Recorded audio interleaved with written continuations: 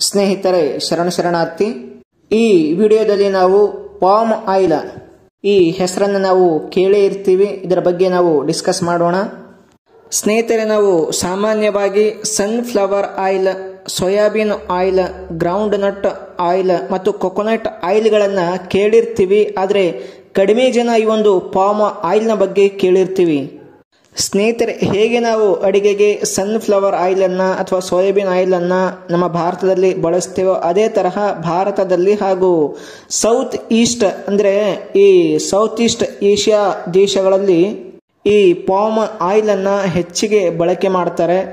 So ಈಗ ನಾವು ಹೇಗೆ ಈ ಪಾಮ್ ಆಯಿಲ್ ಪ್ರೊಡಕ್ಷನ್ ಆಗುತ್ತೆ ಮತ್ತೆ ಈ ಪಾಮ್ ಆಯಿಲ್ ಅನ್ನ ಎಲ್ಲಿ ಎಲ್ಲಿ ಬಳಸ್ತಾರೆ, ಮತ್ತೆ ಈ ಪಾಮ್ ಆಯಿಲ್ನ ಪ್ರಾಪರ್ಟೀಸ್ ಏನು, ಮತ್ತೆ ಪಾಮ್ ಆಯಿಲ್ ಇಂದ ಇವಾಗ ಆಗುತ್ತಿರುವಂತಹ ಕೆಲವೊಂದು ಸಮಸ್ಯೆಗಳೇನು, ಅವುಗಳ ಬಗ್ಗೆ ನಾವು ಈ ಒಂದು ವಿಡಿಯೋದಲ್ಲಿ ಡಿಸ್ಕಸ್ ಮಾಡೋಣ.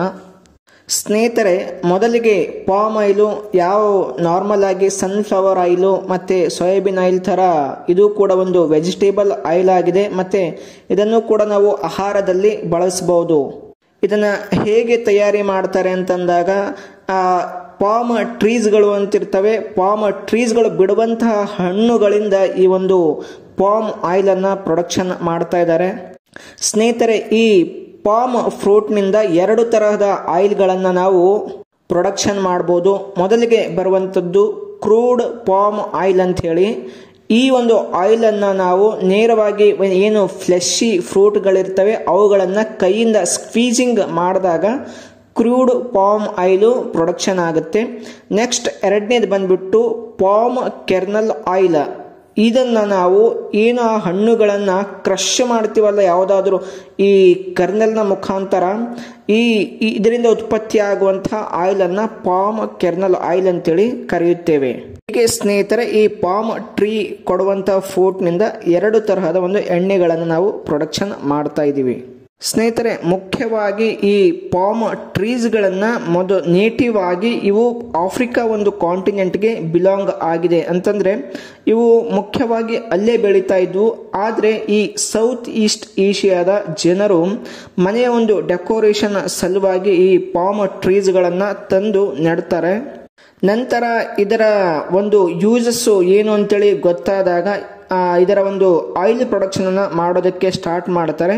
ಇವತ್ತು ನಮ್ಮ ಜಗತ್ತಿನಲ್ಲಿ ಈ ಪಾಮ್ ಟ್ರೀಸಿಂದ ಆಯಿಲ್ ಪ್ರೊಡಕ್ಷನ್ನಲ್ಲಿ ಇಂಡೋನೇಷಿಯಾ ಮತ್ತು ಮಲೇಷಿಯಾ ಪ್ರಥಮ ಸ್ಥಾನದಲ್ಲಿ ಇವೆ.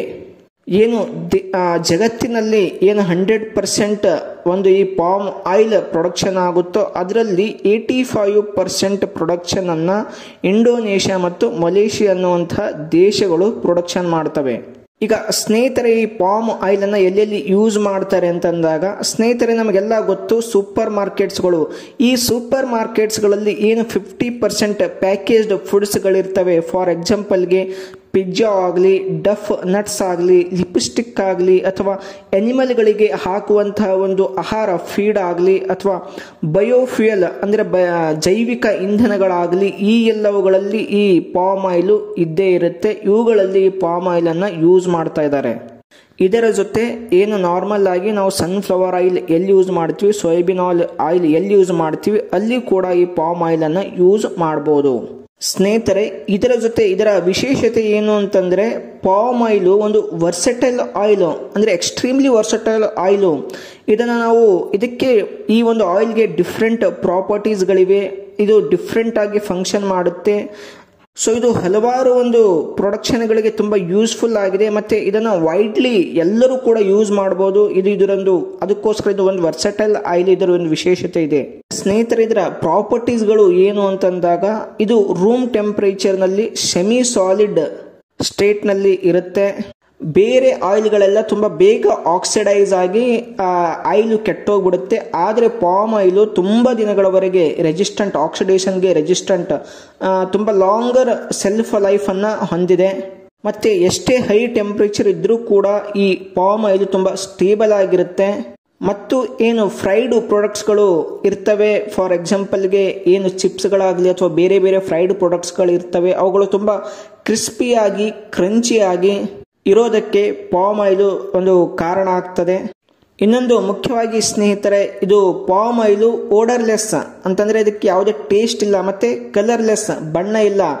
ಆದ್ದರಿಂದ ನಾವು ಏನೇ ಫುಡ್ ಪ್ರಿಪೇರ್ ಮಾಡಿದಾಗ ಅದು ಲುಕ್ಕು ನೋಡೋದಕ್ಕೆ ಚೇಂಜ್ ಆಗೋದಿಲ್ಲ, ಮತ್ತು ಅದರಲ್ಲಿ ಒಂದು ಬೇರೆ ತರಹ ಸ್ಮೆಲ್ಲು ಬರೋ, ಬರೋದಿಲ್ಲ. ಅದಕ್ಕೋಸ್ಕರ ಇದು ಕೂಡ ಇದು ಒಂದು ಓಡರ್ಲೆಸ್ ಮತ್ತು ಕಲರ್ಲೆಸ್ ಆಯಿಲ್ ಆಗಿದೆ.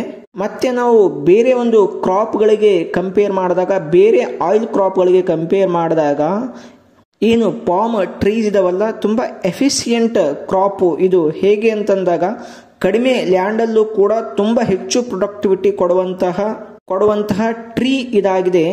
ಯಾವಾಗ ಆ ಟ್ರೀ ಒಂದು ಫ್ರೂಟ್ಸ್ ಪ್ರೊಡಕ್ಟಿವಿಟಿ ಜಾಸ್ತಿ ಇದ್ದಾಗ ಅಲ್ಲಿ ಆಯಿಲ್ ಒಂದು ಪ್ರೊಡಕ್ಷನ್ ಕೂಡ ಜಾಸ್ತಿ ಆಗುತ್ತೆ ಮತ್ತೆ ಏನು ಜನರ ಒಂದು ಡಿಮ್ಯಾಂಡ್ ಇರುತ್ತೆ ಅಲ್ಲಿ ಒಂದು ಸಪ್ಲೈಗೆ ಈಕ್ವಲ್ ಲೆವೆಲ್ ಆಗುತ್ತೆ ಡಿಮ್ಯಾಂಡ್ ಸಪ್ಲೈ ಒಂದು ಸ್ಯಾಟಿಸ್ಫೈ ಆಗುತ್ತೆ. ಆದ್ದರಿಂದ ಏನು ಅಂತಂದ್ರೆ, ಆ ತುಂಬಾ ಒಂದು ಸ್ಮಾಲ್ ಹೋಲ್ಡರ್ಸು ಅಂದ್ರೆ ಕಡಿಮೆ ಹೊಲವನ್ನು ಹೊಂದಿರುವಂತಹ ಒಂದು ಫಾರ್ಮರ್ಸ್ಗಳು ಈ ಒಂದು ಪಾಮ್ ಟ್ರೀಸ್ ಅನ್ನ ಬೆಳೆಸ್ತಾರೆ. ಇದೊಂದು ಅಟ್ರಾಕ್ಟಿವ್ ಕ್ರಾಪ್ ಆಗಿದೆ ಅವರಿಗೆ. ಸೊ ಇದರ ಜೊತೆ ಇದನ್ನ ಅವ್ರಿಗೆ ಬೆಳೆಸೋದ್ರಿಂದ ಅವರ ಇನ್ಕಮ್ ಸ್ಟಡಿ ಆಗಿರುತ್ತೆ. ಯಾವುದೇ ತರ ಇನ್ಸ್ಟೇಬಲ್ ಇನ್ಕಮ್ ಆಗಿಲ್ಲ ಸ್ಟೇಬಲ್ ಆಗಿ ಇನ್ಕಮ್ ಅವರಿಗೆ ಬಂದೇ ಬರುತ್ತೆ. ಈ ಒಂದು ಕಾರಣದಿಂದ ಇವತ್ತು ಅತಿ ಹೆಚ್ಚು ಜನರು ಈ ಪಾಮ್ ಟ್ರೀಸ್ ಗಳನ್ನ ಬೆಳೆಸ್ತಾ ಇದ್ದಾರೆ. ಅದರ ಆಯಿಲ್ ಅನ್ನ ಬೆಳೆಸ್ತಾ ಇದ್ದಾರೆ, ಬಳಸ್ತಾ ಇದ್ದಾರೆ. ಹೆಚ್ಚಿಗೆ ಒಂದು ಎಕ್ಸ್ಪೋರ್ಟ್ ಆಗ್ತಾ ಇದೆ ಬೇರೆ ಬೇರೆ ದೇಶಗಳಿಗೆ. ಸ್ನೇಹಿತರೆ, ಇಷ್ಟೆಲ್ಲ ಒಂದು ಬೆನಿಫಿಟ್ಸ್ಗಳು ಯೂಸಸ್ಗಳು ಇದ್ದರೂ ಕೂಡ ಕೆಲವೊಂದು ಸಮಸ್ಯೆಗಳು ಈ ಪಾಮ್ ಆಯಿಲಿಂದ ಆಗ್ತಾ ಇದೆ ಪಾಮ್ ಟ್ರೀಸ್ಗಳಿಂದ ಆಗ್ತಾ ಇದೆ. ಏನು ಅಂತಂದಾಗ, ಮೊದಲಿಗೆ ಡಿಫಾರೆಸ್ಟೇಷನ್ ಆಗ್ತಾ ಇದೆ. ಡಿಫಾರೆಸ್ಟೇಷನ್ ಮಾಡಿಬಿಟ್ಟು ಅಲ್ಲಿ ಲ್ಯಾಂಡ್ ಪ್ರಿಪೇರ್ ಮಾಡಿಬಿಟ್ಟು ಈ ಒಂದು ಪಾಮ್ ಟ್ರೀಸ್ಗಳನ್ನು ಈ ಇಂಡೋನೇಷ್ಯಾ ಮತ್ತು ಮಲೇಷಿಯಾ ಸ್ಥಳಗಳಲ್ಲಿ ಅಥವಾ ಬೇರೆ ಬೇರೆ ಒಂದು ಸ್ಥಳಗಳಲ್ಲಿ, ದೇಶಗಳಲ್ಲಿ ಬೆಳೆಸ್ತಾ ಇದ್ದಾರೆ. ಈಗ ಡಿಫಾರೆಸ್ಟೇಷನ್ ಆದಾಗ ಏನು ಎಂಡೇಂಜರ್ಡ್ ಸ್ಪೆಸೀಸ್ಗಳು ಇರ್ತವೆ ಅವುಗಳ ಒಂದು ಹ್ಯಾಬಿಟೇಷನ್ನು, ಹ್ಯಾಬಿಟ್ಯಾಟು ಡೆಸ್ಟ್ರಾಯ್ ಆಗ್ತಾ ಇದೆ. ಇದರ ಜೊತೆ ಏನು ಕಾರ್ಬನ್ ರಿಚ್ಚು ಪಾಟ್ ಸಾಯಿಲ್ಸ್ಗಳಿದ್ವಲ್ಲ ಅವೆಲ್ಲ ಓಪನ್ ಆಗ್ತಾ ಇವೆ. ಅದರ, ಅದರಲ್ಲಿರುವಂಥ ಈ ಒಂದು ಕಾರ್ಬನ್ ರಿಚ್ ಪಾಟ್ ಸಾಯಿಲ್ಸ್ನಲ್ಲಿರುವಂಥ ಒಂದು ಗ್ರೀನ್ ಹೌಸ್ ಗ್ಯಾಸಸ್ಗಳು ಅಟ್ಮಾಸ್ಫಿಯರಲ್ಲಿ ಬರ್ತಾ ಇದೆ. ಅಲ್ಲಿ ಬಂದ್ಬಿಟ್ಟು ಕ್ಲೈಮೇಟ್ ಚೇಂಜ್ ಆಗ್ತಾ ಇದೆ. ಇದು ಒಂದು ದೊಡ್ಡ ಸಮಸ್ಯೆಯಾಗಿದೆ. ಇದರ ಜೊತೆ ಸ್ನೇಹಿತರೆ ಈ ಒಂದು ಪಾಮ್ ಆಯಿಲ್ ಟ್ರೀಸ್ಗಳು ಬೆಳೆಯುವಂಥ ಒಂದು ಪ್ಲ್ಯಾಂಟೇಷನಲ್ಲಿ ಅನೇಕ ಒಂದು ವರ್ಕರ್ಗಳ ಒಂದು ಎಕ್ಸ್ಪ್ಲಾಯಿಟೇಷನ್ ಆಗ್ತಾ ಇದೆ. ಈ ಚೈಲ್ಡ್ ಲೇಬರ್ ಕೂಡ ಜಾಸ್ತಿ ಆಗ್ತಾ ಇದೆ. ಇವು ಕೆಲವೊಂದು ಪಾಮ್ ಟ್ರೀಸಿಂದ ಆಗ್ತಾ ಇರುವಂಥ ಸಮಸ್ಯೆಗಳು. ಸಮಸ್ಯೆಗಳು ಏನೇ ಇದ್ದರೂ ಕೂಡ ಪಾಮ್ ಟ್ರೀಸ್ ಬೆಳೆಯೋದು ತುಂಬ ಈಸಿ ಮತ್ತು ಪ್ರೊಡಕ್ಟಿವಿಟಿ ಕೂಡ ಜಾಸ್ತಿ ಇದೆ. ಮತ್ತು ಇವತ್ತು ನಮ್ಮ ಒಂದು ಜಗತ್ತಿನ ಆಯಿಲ್ ಡಿಮ್ಯಾಂಡ್ಗೆ ಏನ ಸಪ್ಲೈ ಚೆನ್ನಾಗಿರಬೇಕು ಅಂದಾಗ ಈ ಪಾಮ್ ಟ್ರೀಸ್ನ ಬೆಳೆಯ ಅವಶ್ಯಕತೆ ಇದ್ದೇ ಇದೆ.